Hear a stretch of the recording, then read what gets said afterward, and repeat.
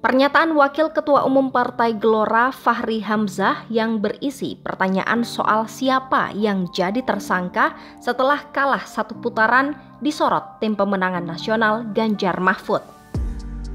TPN Ganjar Mahfud berharap tidak ada upaya politisasi hukum untuk calon presiden nomor urut 3 Ganjar Pranowo yang dilaporkan ke Komisi Pemberantasan Korupsi atas dugaan suap berupa cashback dari perusahaan asuransi.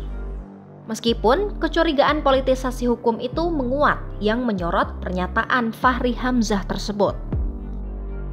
Direktur Hukum TPN Ganjar Mahfud, Roni Talapesi, mengaku masih ingat betul pernyataan yang disampaikan Fahri Hamzah lewat akun X pada awal Januari lalu itu.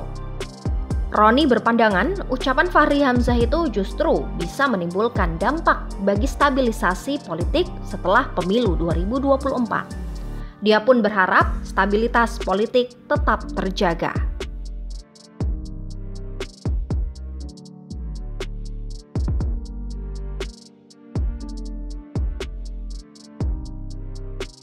Di sisi lain, Deputi Hukum TPN Ganjar Mahfud Todung Mulia Lubis enggan berspekulasi adanya unsur politisasi dalam upaya melaporkan Ganjar ke KPK. Namun demikian, dirinya menilai kecurigaan itu sebagai hal yang wajar.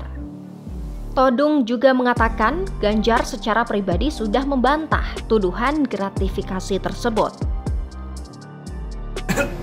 Ya sebetulnya sih uh, boleh saja orang curiga bahwa ini ada politisasi dalam ya, kasus ganja ya, yang uh, dilaporkan ke KPK. Dan saya kasih kecurigaan itu tentu bisa dipahami, bisa dipahami. Tapi saya kan belum tahu persis detailnya seperti apa.